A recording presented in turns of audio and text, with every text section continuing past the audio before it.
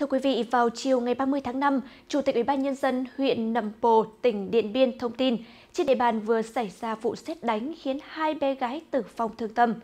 Trước đó, sau khi lên nương ngô để chơi, hai cháu bé đã bị xét đánh gục xuống đất, dẫn đến tử vong tại chỗ. Theo đó, sự việc xảy ra vào tối ngày 29 tháng 5. Nạn nhân là cháu LMQ, 9 tuổi và LTL, 3 tuổi, cùng trú tại bản Xín Chải, xã Nà Hy. Cả hai tới láng trên nương ngô của bà Chảo Mùi Liếu, bà nội cháu Quy, cũng là bà ngoại của cháu L, cách trung tâm bản gần 6 km để chơi. Lúc này, bà Liếu từ nương ngô về đến láng, thấy sấm sét nên hô hai cháu đang chơi bên ngoài vào láng. Cả hai chưa kịp vào thì bị sét đánh gục xuống đất. Bà Liếu gọi chồng bế hai bé vào nhưng các cháu đã không còn thở. Lãnh đạo Ủy ban dân xã Nà Hì cũng cho biết xã đã cử cán bộ tới xác minh và đưa hai bé về gia đình lo tăng lễ. Gia đình hai cháu bé đều thuộc hộ nghèo của xã, bố mẹ cháu L đã ly hôn. Bạn có video hấp dẫn. Bạn bắt gặp được những khoảnh khắc độc đáo.